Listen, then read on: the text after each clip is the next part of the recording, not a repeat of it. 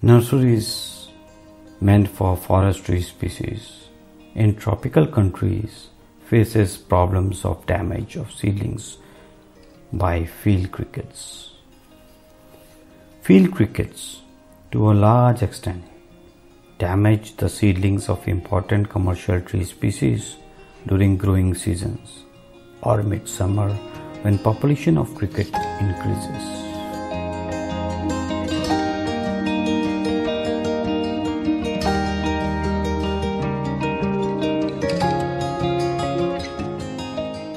Crickets generally reveal their presence by surface tunneling and cut the collar region of seedlings dragging to their burrows. This is a common behavior of cricket that is Gryllus species. The size of a cricket is 12 to 30 millimeter in length, shortened wing that exposes the abdomen. Crickets are known for chirping noise. Male use the species characteristics chirping to attract female of their own species. Crickets are nocturnal, but daytime they eagerly search for hiding place, shelter or a burrow that is dark, moist and warm place. Species of genus Gryllus dig burrows by themselves, uses mouth parts to bite off the soil and remove it with hind legs.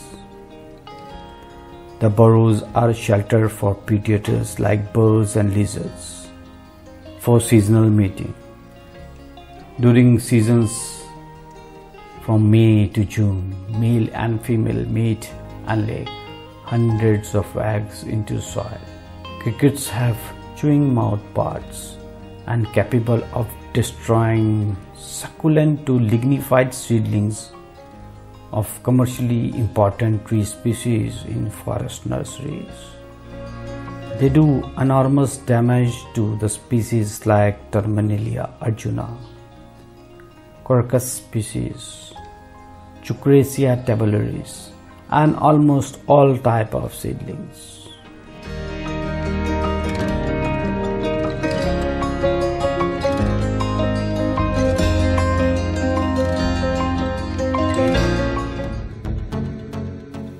The wasp Chlorion aerarium commonly known as steel blue cricket hunter belongs to the order Hymenoptera. The wasp is about 1 to 1.5 inch long, beautiful, shining, much brighter in metallic violet blue color. Mandible is single tooth, having dark smoky wings. They have big eyes, long spiny legs that assist in digging the soil and pointed mandibles for holding their prey. They are solitary hunting wasp, but the females are dangerous having stingers.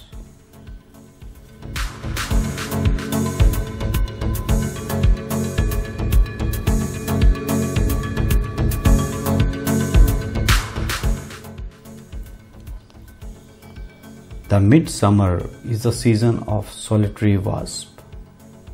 The female crickets spend their days searching for cricket to paralyze and transport to the burrow or tunnel for hatching its egg.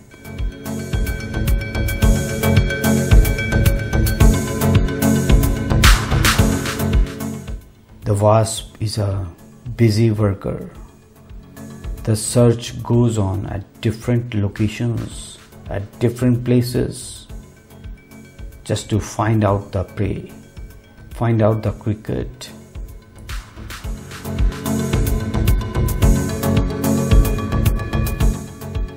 The search of the wasp goes on to find the cricket, to locate the cricket, at different burrows, different holes.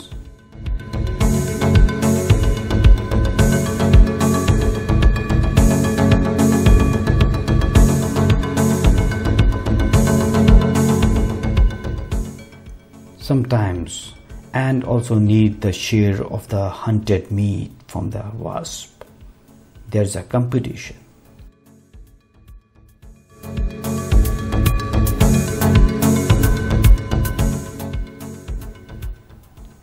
Finally, the search ends.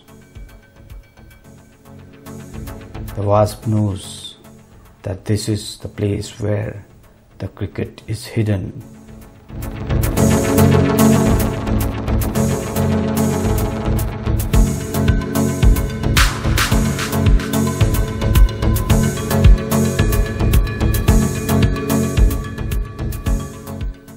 Makes its surgical strike.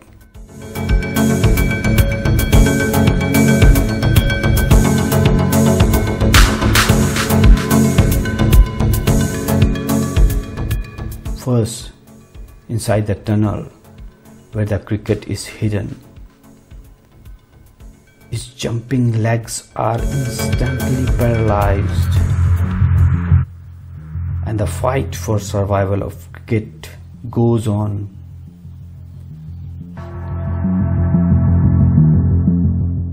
The cricket tries to come out of a tunnel, struggling for its life.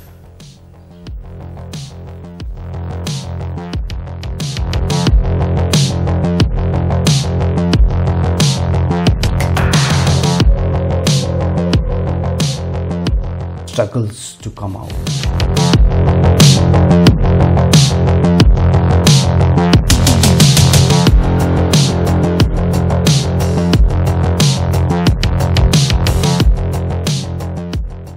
However, the cricket is out of its burrow. Cricket's leg is already paralyzed. Now, the wasp gives the final touch. The cricket is now attacked on the thorax with great insistence and precision. It inserts sting in the throat. This is the vicinity of the central nervous system. The venom placement never fails, and the cricket becomes totally motionless paralyzed, deactivated. The hunter's job is done. The surgical strike is over. Finally, again inspects the hole, the burrow for the final placement. The cricket is now dragged by the wasp and is stored back in its own burrow.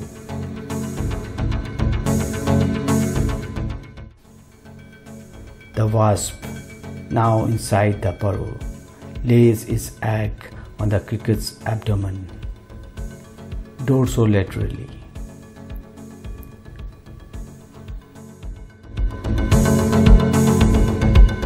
Then the entrance is temporarily plugged with the loose soil.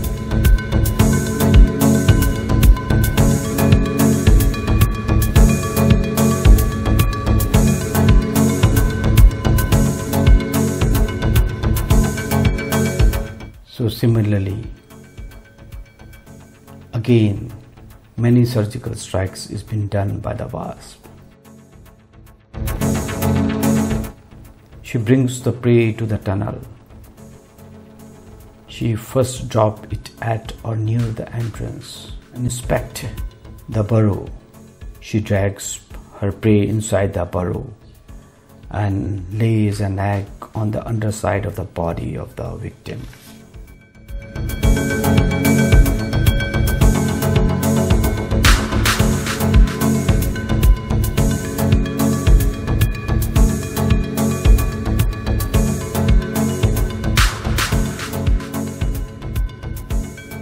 Similar process is been done by the wasp routinely. The wasp does not bother for even huge paralyzed body of a cricket.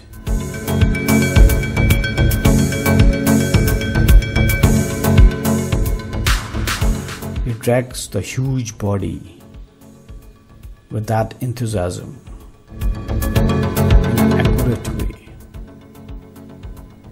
That's the energy it possesses with the wasp.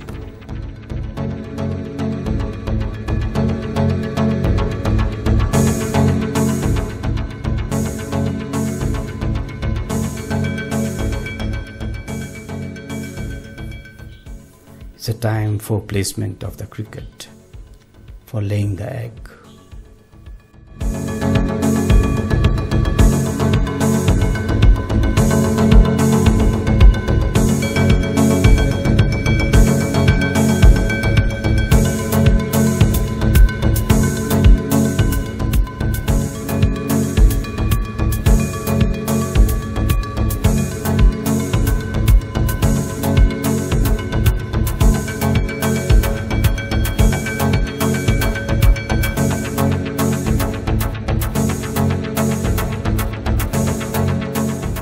Job is done. After placing the cricket in the tunnel, it lays the egg. The egg hatches the larva, and larvae are carnivorous, feed on crickets, spend 10 to 11 days on feeding, and then pupates in the tunnel. Nature has given this biological control which has been very much balanced. Biological control of insect is a bit more difficult. It needs sufficient beneficial insects at correct time to counteract undesirable insects.